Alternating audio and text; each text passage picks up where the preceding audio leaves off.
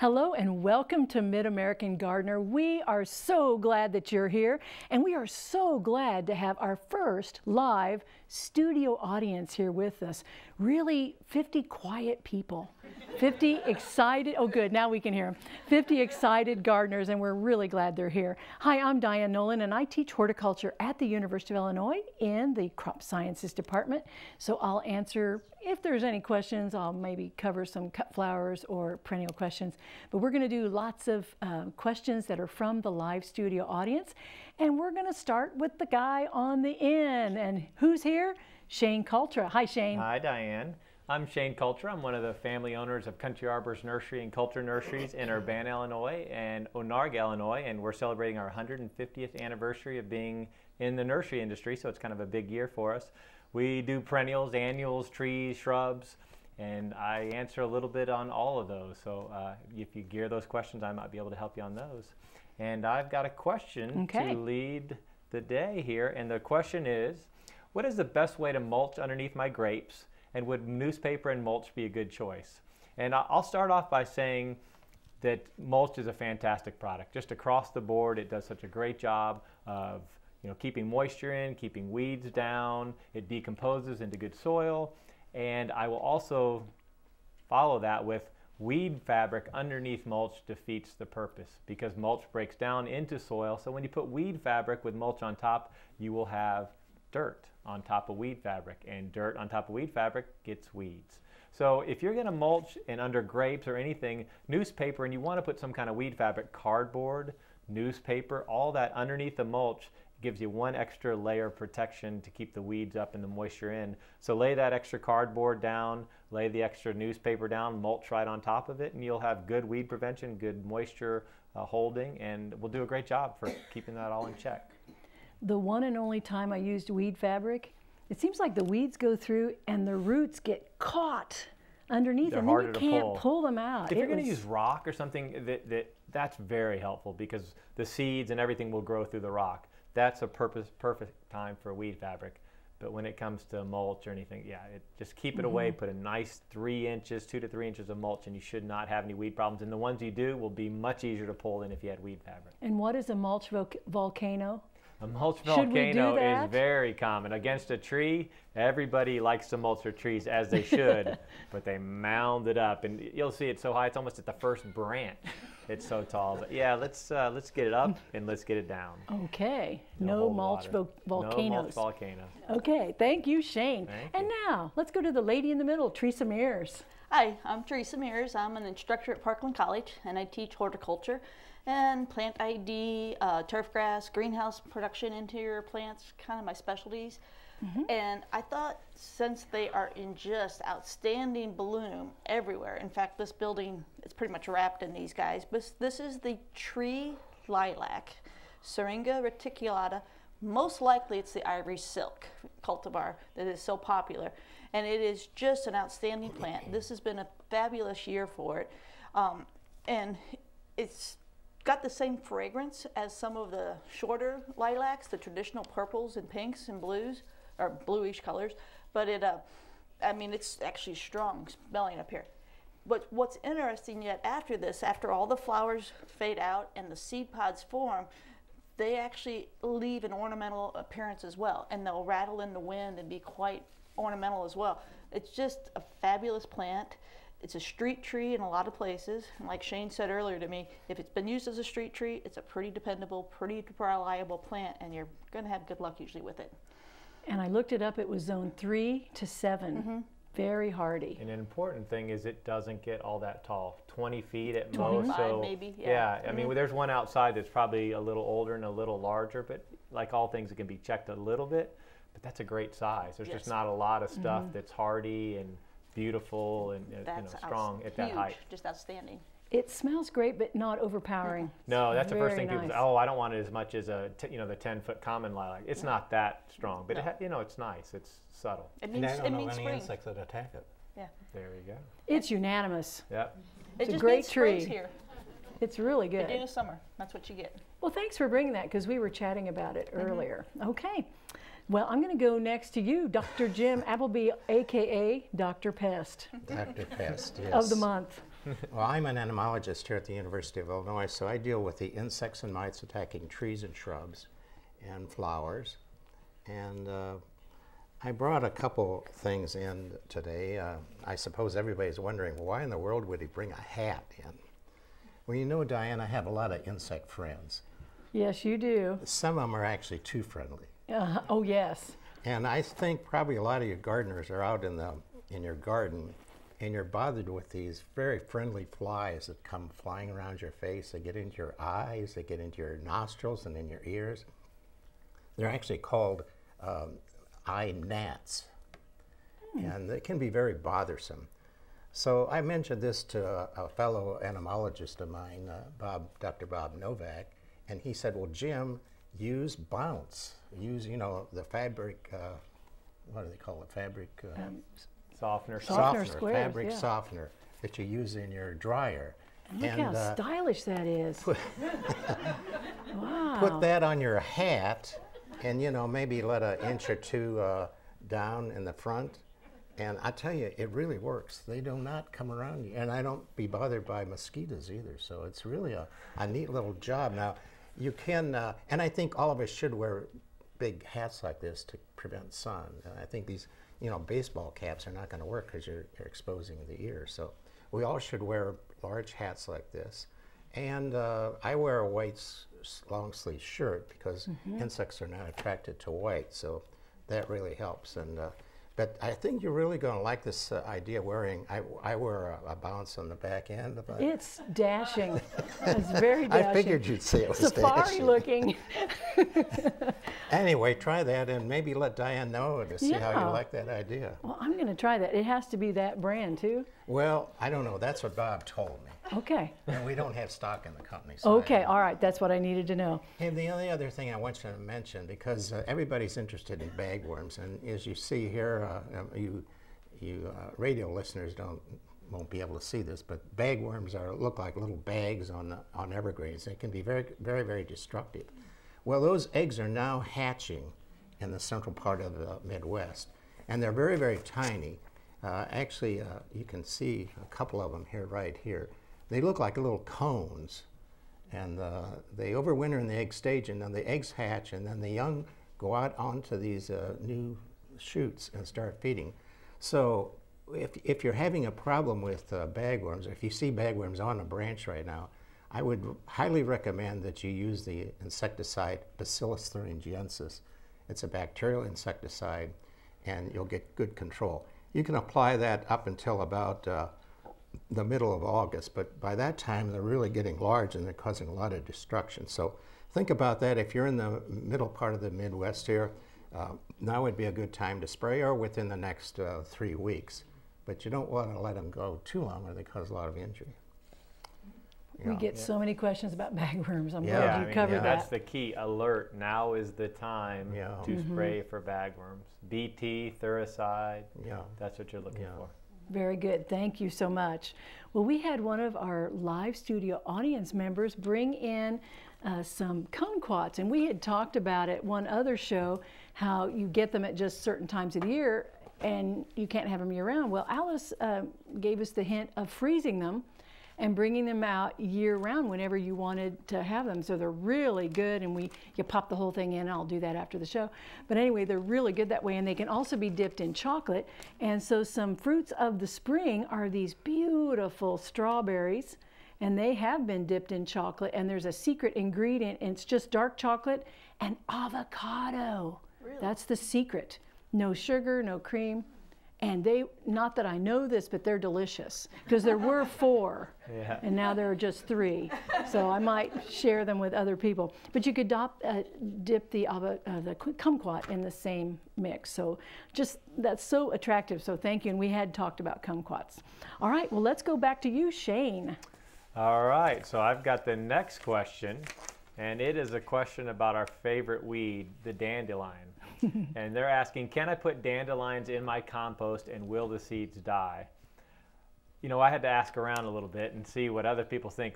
The, the dandelion itself, the, the foliage and the green, that should be of no issue. If you put that in a nice compost and get it hot enough, I think that that will be completely fine. If it has gone to seed and gets the big seed head, seeds are very hard to kill, and the heat I don't think will absolutely kill the seed. It will stay with you, and when you spread the compost, I think you're going to have dandelion. So just try and, and pull them and get them up before they go to seed.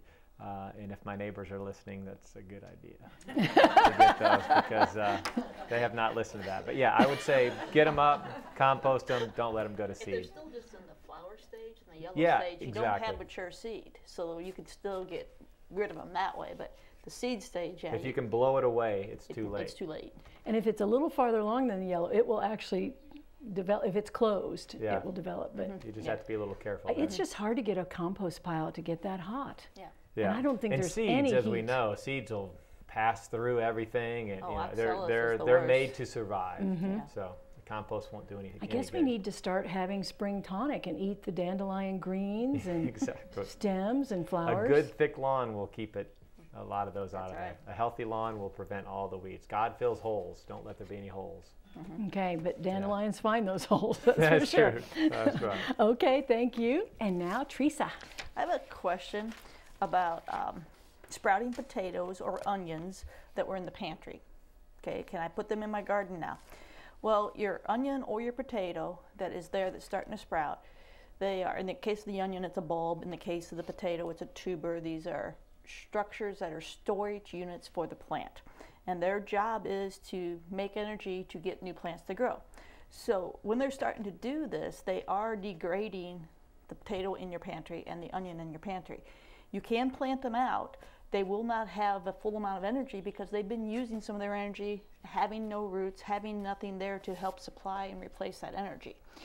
Um, but that's how we make new plants all the time is we're always taking parts and pieces and making new ones. So yeah, you can plant them out. Um, they're just going to be a smaller plant and not as big. But you also could, um, like in the case of potatoes, if you take off those eyes, you can still eat them. They're, they're not as good as a fresh potato, but they are just breaking down the sugars that are in your plant there. And taking I- the energy. I had three that sprouted, and I Mm-hmm. have five that look normal, and I have one that's a half inch tall plant. Yeah. And the other ones are six, eight, Yeah, they, nine they inches. just don't have the same energy. They didn't have the root establishment, so But it's an experiment. It's- it's- a horticultural experiment. it's great fun with kids. Potato bonsai. Yeah, it is a lot of fun with kids to do that and show that this is where we started and this is their end product. Then So notes to self: Mm-hmm. anything that you're not sure is going to work, it's a horticultural experiment. that's right. So that's that's It's your a teaching moment. a moment. teaching. Oh, I love that one. Teaching moment. Very good. Thank you, Theresa. Now, Jim, what have you got for us? Well, we have a question here. It says, when is the proper time to treat ash tree for ash borer? I mean, what date? And that was a question from Barb. Um, the best treatments for uh, emerald ash borer to control it are uh, two, two uh, different chemicals. The one is called TREE-äge. It's spelled T-R-E-E dash A-G-E. And uh, that chemical is, is not available to the average homeowner. You have to have a, uh, a certified arborist apply it. But it's by far the most effective. Uh, it will last in a tree for three years. wow. So, you know, it's probably well worth it to hire somebody like that and have that applied. That's by far the most effective. The one that's available to the homeowner is made by Bayer. It's called Tree and Shrub Insect Control, and that contains a chemical called imidacloprid. Now, it can be applied, when you apply this, uh, I would say sometime probably May and June would be the best time. I would think go more for early May, but it could be applied at this time of year in June or maybe even as late as July. But that will only last one year, so you have to do this every year. Whereas TREE-äge, that, that too is probably best applied in, in May and June but it will last three years. So those are the two materials that should be used. But you know, emerald ash borer is a terrible insect, and it's it's continuing to increase uh, its range. If you're interested in um, learning more about the emerald ash borer, we do have a publication here at the University of Illinois. I have to give this a little bit of publicity. Yes, you do. And uh, it's called How to Diagnose, Detect, and Search for Infestations of the Emerald Ash Borer. It's well illustrated by many, many pictures, and it actually even shows some of the insects back here that are not emerald ash borer that I get a lot of questions about. You can obtain this by calling our main office, and that main office number is area code 217 333 2770. And when you uh, call that number, just say that you'd like to get a, this leaflet on emerald ash borer. Unfortunately, we have to charge $2 for this publication because uh, it is expensive to reproduce in color. So it's $2, but when you call, give the person your name and send in a check for $2 to- payable to the University of Illinois, and we'll send this out to you. I find the, the insects that look like it, it's, that's very good to know. Yeah, it is. What you is know, not particularly right at this season. You know that the p- two little ones that get most uh, crushed are the tiger beetle, that's bright green. Mm-hmm. There's another insect that's a little uh, greenish too. That so and you know the tiger beetle is is really important insect predator, so it shouldn't be stepped on. And it shows a very nice picture of that right back here. They're beautiful. They're beautiful. I saw one yesterday. and they're very so, common. so it's not Jim emerald. gets, Jim gets pretty excited about that. was beautiful. I know. But it's Well, metallic They green, really Shane. are. it's beautiful. The colors. The colors. they really are. I It's love pretty enough that I notice it. I love So- it. yeah. There are some really good insects out there. Oh Yes. yeah, most of them are Yes. actually.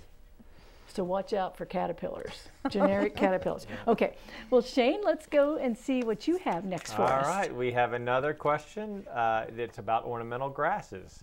The question is there are several ornamental grasses that have died this past winter in our community. Could this have happened because of the lawn company that cut them down before winter, or is there some other reason they didn't make it? And I will defend, I, we don't have a lawn company, but I will say the lawn companies get blamed for everything. If a window is broken, the lawn company did it. If the, if the house paint fades, it's the lawn company. Lawn companies get blamed for a lot of stuff. But that being said, they often the people doing the lawns aren't as as uh, educated as they probably should be. They've been told what to do. And when it comes to ornamental grasses, the best thing is to not cut them down going into winter. That grass holds in, catches leaves, catches everything in the wind, and protects them for the winter. Gives them just a little bit more insulation that they wouldn't have uh, during the season. So cutting them down does expose the grass. So it gives you a much higher chance of losing your ornamental grasses if you cut them down. The other thing is planting ornamental grasses late. Uh, I have a conflict of interest because I'm trying to sell out my ornamental grasses at the end of the season, but the reality is you probably shouldn't plant ornamental grasses much after October because they don't get rooted in going into winter. So your pennisetums and some of your grasses that are good hardy grasses, but they're much like the mums you buy in the store. You don't get them planted soon enough, it's not going to make it over the winter. So my guess is giving two hard winters in a row, uh, the ornamental grasses that were planted a little too late probably were the ones that died. So that's that's my guess. Get them in much sooner. Don't cut them down, and you have a much better chance of them living. Okay, and gives us something to look at in the winter. Yeah, no, They're it's, it's a attractive. pretty, and especially most of the grasses that are sold today don't break off and blow all over the place. They keep their heads, and they're they're really pretty. Mm-hmm. They're evergreen, if you will. You only have a three week window where you cut them down, and it takes a little while to catch back up. But yeah, I think they're great. Really winter nice. character is Winter the term. Mm-hmm. character. Yeah, the snow with the grass. Absolutely. I put one right by my driveway so I know where to stop plowing. so you know, And functional. functional. Okay, very good.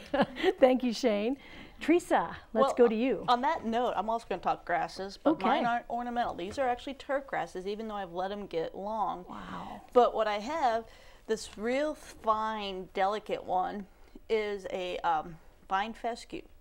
This is the only grass you try to grow in shade. And try is the mighty word. And say the name of it again. Fine fescues. Fine fescue. Fine fescues. Shade is the enemy of grass. Grass likes full sun, so we give it full sun to make it happy. But what I have here, and they are a little floppy because they've been in the greenhouse, they haven't ex- been exposed to the weather, and they haven't been mowed. I have a Kentucky bluegrass, and I have a tall fescue. This is not the tall fescue of history. This is not the Kentucky 31. If you see Kentucky 31 tall fescue, stay away from it. We have taken that one and we have bred it and bred it and bred it to come up with colors that match, because it traditionally is more yellow green, to match our bluegrasses. We're mm-hmm. working on the texture to make the texture match. And they've actually got it now where you can sod it because the roots met together. Hmm. And the beauty of this is that it makes a much deeper root, a much more massive root. And one reason I don't have these mowed is because I wanted to show you the establishment of the roots. Amount of grass on top, equates the amount of grass on, or the amount of roots underneath. So if you tend to be a very shallow mower, mow an inch and a half or two inches, you don't have very good roots. You don't get through our summers. Bluegrass doesn't like heat. Kentucky, the tall fescues tolerate more heat. They have deeper roots. In the middle of July and August, if we have a very hot, dry year, our Kentucky bluegrasses will start to brown and go dormant. Our tall fescues will still look good. And I was talking with some of the uh, guys at the University of Illinois Turf Farm the other day. I took my students out there, and they were saying there are several neighborhoods in Indianapolis now, new developments, that will not let them plant bluegrass anymore. It has to be the uh, tall fescues. Interesting. And they have turf plots out there where you can see side by side comparisons, you would not be, pick out. You would not be able to tell the difference between the bluegrass and the fescues in some cases. Because it's so much finer texture and good colors. It's just amazing what, what they've done. what, they- of. what they've done, and they have the old Kentucky 31 as- a comparison, so you can really see the difference. But I am definitely moving that direction in my lawn in the areas where I'm having to do some stuff because they blend right in, and then in the middle of summer they stand out a little bit, but that's okay. Because they look good. Yeah, they look good. And most That's seeds not a bad now thing. have blended the two because they're realizing. So your most are 60-40 Yeah. of both of But these. be careful. I went shopping, and I won't say where, but I went shopping to try to fi- not your place. went shopping to get some stuff to get some seed, and I was having difficulty finding anything that was not the Kentucky 31. Yeah. Oh, And you don't want 31. Yeah. That's the one to avoid. not Kentucky 31. That's the fescue. parent material that ca- came up with this. That it Okay. is. It's a beautiful grass. It's a very good grass. It's very sustainable. It's a very good choice nowadays. Sounds great. Well, thank you for and it's, that. it's just outstanding. Seeing the roots really lets you see how Mm-hmm. strong that is. So mow high. Yeah, I Ho- mow three and a half, four inches at my house. Yeah, we do mow high Mm-hmm. as well. You guys mow? We meaning people Uh-oh. at my house. Thank you, Dave. So, but anyway, when mowing is done, it's mowed Yeah. high. and if you have irrigation, you know, if you're if people have irrigation, bluegrass can survive if you have irrigation. But if you don't, you need to move this way. Well, and- and- Absolutely. but the heat is also an enemy. Yeah, and the so heat, even with true. irrigation, if we mm-hmm. have a very hot summer, True. your bluegrass still suffers. It mm-hmm. struggles. Yeah. And be nice Okay. to your plants. There's for all the lawn fanatics. Thank you. You covered that very well. All right, let's go to you, Jim. Well, there's a, we have a question here from Lynn, and she says, My knockout rose bush is already being eaten by something that I have not seen. Is there a particular insect that uh, attacks them at this time of year? And uh, she sent us some pictures, but um, I really can't tell from the photograph what insect that may be. Uh, probably if she's got a close-up camera, you could take a better photograph of that insect. It possibly could be a sawfly. There's a insect called uh, rose sawfly that feeds um, on the undersides, and so, there's another species that feeds on the top side that sort of skeletonizes the leaves. Um, those are easily controlled with any of the insecticides, if, if it is that. But from what I see here, I'm, I'm afraid I can't tell what insect it might be that's on her particular Right. bushes. Okay. Well, we're going to go. We've had a lot of knockout rose questions Yeah. here lately, so that's maybe Have we'll they had hear more. tough? if- if- I've had questions of roses not making it through the winter. Yes. Has it been a tough year for them? Yeah, and that's the thing Mm-hmm. people always associate with just a hard, cold winter is the killer, and that's not always the case. The fluctuation of temperatures, and especially late in the winter, early spring, is tough on on the roses, especially. But it's it's tough on other plants. I, in the winter, if we have just a cold all the way through winter, things seem to do fine. yeah. Snow cover protects it. It's when it warms up in the day and then blasts at night that is just so damaging. Or 50 in January? Yeah, 50 in January, and that's uh, and that's what happened this past winter. We were all over the board as far as temperatures, and uh, it was really hard. We lost a lot of plants at the nursery for the first time, more than the year before that was extremely cold. but there was more snow that. cover the Yeah. year When before. it stayed cold. And it- it yeah. stayed cold. didn't That's go right. down. And that's why I say, like on a Japanese maple, it's not it's not that it needs the protection during the winter. It needs to stay away from from fluctuation. So keeping on the north side keeps it in that frozen zone, or putting on the south side warms it up with the sunlight and then blasts it at night. And absolutely hates that. So that fluctuation is just as damaging in the winter. I recall the winter that we had really a wet winter and then it dropped 50 or 60 degrees and all of the English ivy Yeah. died. It was a boon for the nurseries. Yeah. But nothing kills English ivy. It's been kind of a boon for the last couple of years. I mean, something different. But We moved the- our butterfly bush to the annual section lately. Oh, that's Yeah. right. I haven't seen any of my butterfly books. No, we it's, talked about uh, it. Said, oh, just wait. yeah, we just shifted They'll a be couple up. feet to the left. yeah, they'll be up. Oh, it was a rough winter. Well, I want to first thank Sarah. It's Sarah's last uh, day today, and she has been so great working with Mid American Gardeners. We want to thank her and wish her well for the rest of her life. So thank you, Sarah, very much. And we've got to thank this wonderfully beautiful live audience. Thank you so much, live audience. It has been so fun. We want to thank each of you for watching. Goodbye.